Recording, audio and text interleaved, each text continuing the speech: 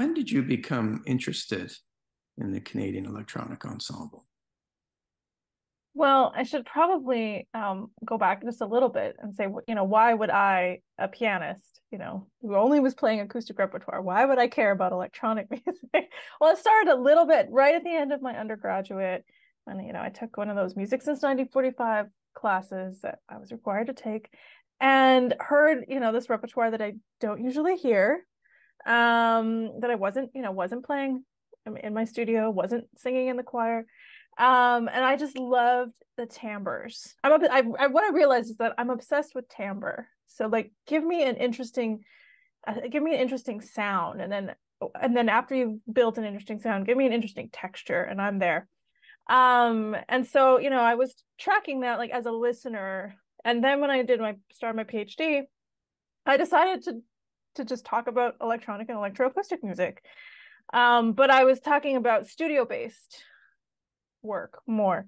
Uh, but I got to know David because I was um, his daughter's roommate for a year and living basically a 20 minute walk north of them. And so he was very gracious and they would host me because I was all the way from Saskatchewan. Um, and because he knew that my dissertation was on electronic music, I mean, I mean, he could talk to me about all kinds of things that he was involved in, but he he would he would hand me those topics, right? So interesting um, composers if he'd heard their premieres, or if he'd been recording their projects, and then also, of course, the CEE. So, um, you know, I wasn't talking about live electronic music at all in my dissertation, and so um, I didn't really bring that in, and especially because I ended up focusing on recorded voice in studio-based music, and they don't really have a lot of that in their repertoire but you know i'm hearing more oh we're doing this we're doing that and i was like well i'm going to go check them out. And of course you go to a performance of the cee and you just love it. I mean it, i what i have found is like you don't even have to turn into like the super fan that's going to seek out all of their recordings but you just love that experience of being with them live and hearing again timbre hearing these timbres swirl all around you and build and and see the very subtle ways in which um, they collaborate with each other in real time. And you know they don't make a ton of eye contact but you know they're listening. Like you can sort of hear that in the way that they respond. And so i was i was sold. And um and then i realized okay well there's this group that's been around for decades and uh no one's written about no one's writing about them in the scholarly record. And that's something that has become very important to me as a musicologist as I am almost entirely devoted to living musicians because I sort of feel if someone in the time that it's happening isn't doing some of this work, then so much of those stories and those records get lost. Um, because there's only so much that you can go back and reclaim, you know, 100 years later, 200 years later. So I do feel a responsibility to, um, you know, do some of that work as it's happening. Um, and so then they were gracious enough to let me let me in right? Let me sit in rehearsals interviews and i just have really enjoyed them as humans and as musicians um, so that's that's where where it started and of course then then they've, they've got me for life right? Yeah i've been fortunate to cross paths with a couple of the members over the years and david Jaeger in particular is an extraordinary extraordinarily generous artist. I'm not at all surprised to hear that he was so supportive to you as a student and then later um, as an author. Um, for those who haven't had the opportunity, what's he like and, and why is he such an important figure? David specifically? I mean, well, David, I mean, he's just he's super um you know kind and and lovely right so you know right away you know i i didn't know him, but because of this, you know, connection, which and it was actually a friend from my master's degree who knew them, who who knew that their daughter needed a roommate, you know, so there was a lot of, you know, connections that brought us together. I mean, just how generous is it to say there's this, you know, this uh, lonely PhD student far from family, like like let's just like, have her over for tea and let's have her over for meals. And um, both he and Sally are just extremely kind um, generous people and they're and well sally his wife is a storyteller you know by profession. Um so we're not surprised there but david also loves to tell stories right? And he has been witness and been part of so many stories uh, around canadian you know classical music making for you know you know 50 50 years now. So it's just fun to sit down with him because he'll be like, "Oh, well, did I tell you about this?" And it might be something that happened last week where he was part of an interesting recording session or or attended an interesting premiere, or he'll or he'll go back into his own archive and pull back a story from 30 years ago where there was this interesting thing with R. Murray Schafer or whoever, right? So he has um he's worked with everybody in the Canadian classical music scene you know whether it's as a producer you know um, whether it was on the radio show like two um, two new hours or, or whether it was part of the CEE because the CEE also commissioned a lot. They commissioned people uh, and even if they didn't commission if there was you know a piece that existed that could you know they could perform they did that or they also um, just merely presented a lot of musicians. So it wasn't necessarily the CEE uh, performing every single piece, but it would be their concert series. And so there would be pieces by, you know, a lot of guest musicians and guest composers. So, I mean, he's, he's seen so much, he's led so much, right? Um, also, I, I don't want to get the exact detail wrong, but he was, you know, the president of the International Rostrum of, of Composers and first Canadian to do so. Um, so he's been a part of so much um you know and then beloved by basically you know every composer and performer i think that he's that he's worked with the way that i know that it's not that i've talked with every single one of them but i see i see how those relationships are maintained long term and that to me is a sign that that that they have a good relationship with him as a producer or as you know you know so you don't you don't work with someone again. Unless it was good the first time. Why is the ensemble so uh, so greatly revered in new music circles? Why why was it so important? Um, I think there's a, a few reasons. I mean, if we're thinking if we're thinking at the time, and of course, I don't think that any group starts thinking, okay, well, we're going to do it for 50 years. They think we have something that we want to do now, right? And so if we're thinking about them in the sort of the 70s, they were doing things that were quite um, experimental and risky.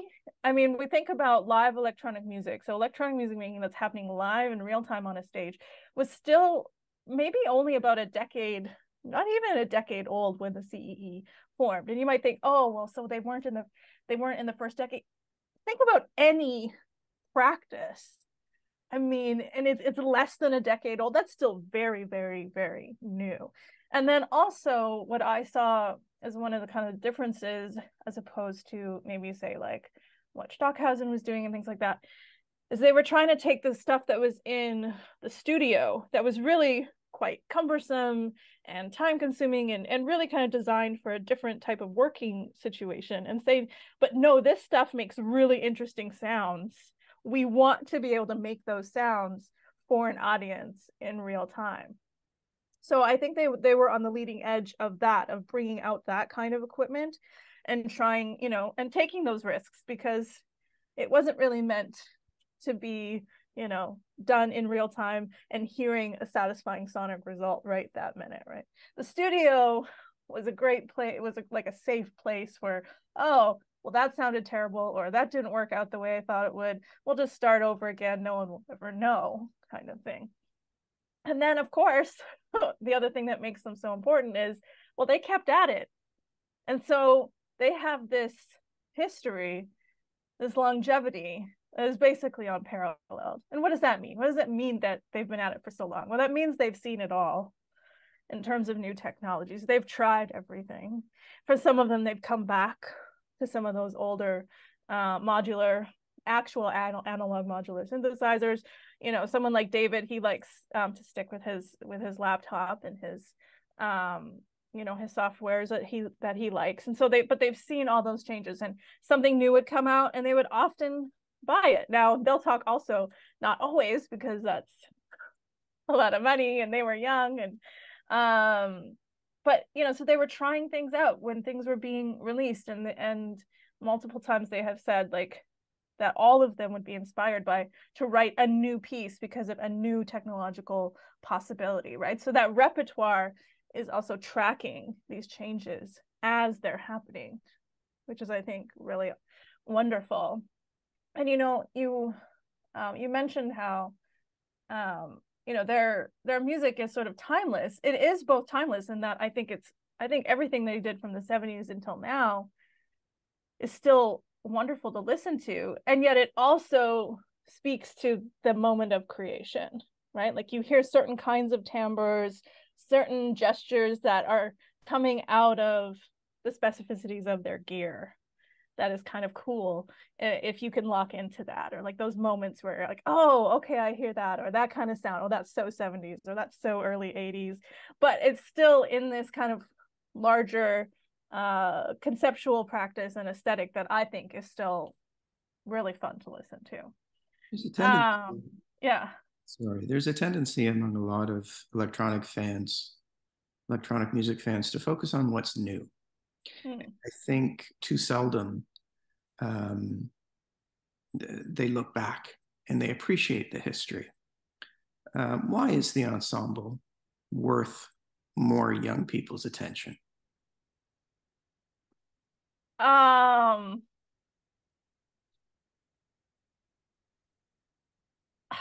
I mean, the, this very simple answer is, well, I just think it sounds good. I mean, I think it just sounds interesting, and so, and you'll, you know, you're not going to find something that sounds like the CEE. I mean, they they sound like them, and they're they have influences, right? Like you can hear, you can hear traces of their influences, but they sound like them. And so, if you haven't listened to them, if you haven't listened to the CEE, then then you are sort of missing out on this on this very specific kind of practice and sound and um, collaboration and the improvisation, right? The improvisation stuff came a little bit more later, but basically everything that you might listen to from the last 20, 25 years is almost predominantly all um, improvised. And I think that that's also an extremely valuable thing to kind of immerse your ears in. Um, why why should they give a listen? I mean that you're asking a musicologist who like is always saying, well, ground everything you're thinking about in history. But I just think that the music is still interesting and it tells us something about how, you know, electronic music has changed and developed, but also what are some creative principles that transcend gear. I think that's something I really appreciate about the CE is like yeah they like to experiment oh this thing can do this one specific thing or it has this this capability but they're always sort of thinking at a level above that like which is sort of um, you know kind of a sonic concept right? Because sometimes something won't work and so you can't be after that very specific thing that you want because it might not work.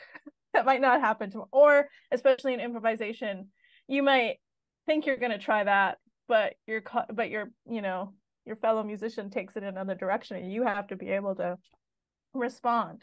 So there has to be some other kind of musical ideas that are guiding you. And so i think that's another thing that musicians can learn from the cee is thinking about what are the musical ideas what are the sonic ideas actually being explored here through the technology but almost sometimes despite the specific technologies.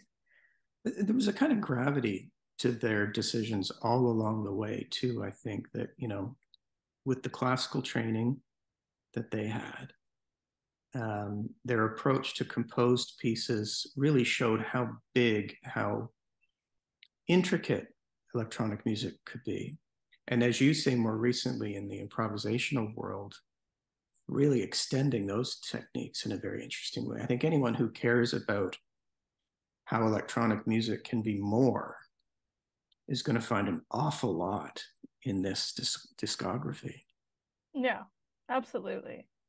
Um, and I think they're going to find a lot about how to how to work with other musicians, right? Like how do you leave space for multiple voices in a collaboration, whether it's composed or not, right? Because if we think about a lot of their early stuff, it was composed, and it was often you know featuring someone but not but not always and so how have they written material in which everyone everyone is given an opportunity right? So thinking a lot about kind of structure and textures and and voices i think there's a lot of lessons that that other musicians can can learn. You know it's not about again that wouldn't be about imitating it but saying how how do i want to think about this idea in my practice? How, what would it mean to sort of ha- open up a moment for like a solo?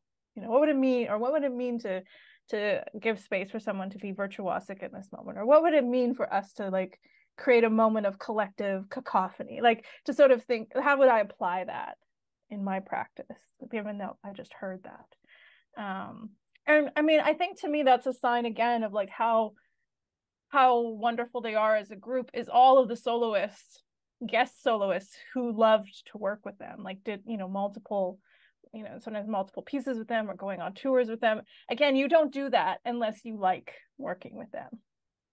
Unless personally and musically there you find that satisfying right?